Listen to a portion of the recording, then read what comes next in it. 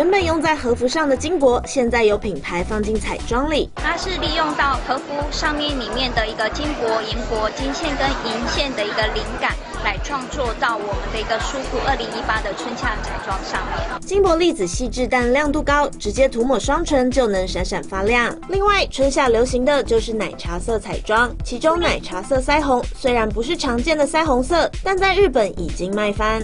用法其实很简单，以鼻翼和耳垂连线中央为起点，往斜上方刷椭圆形。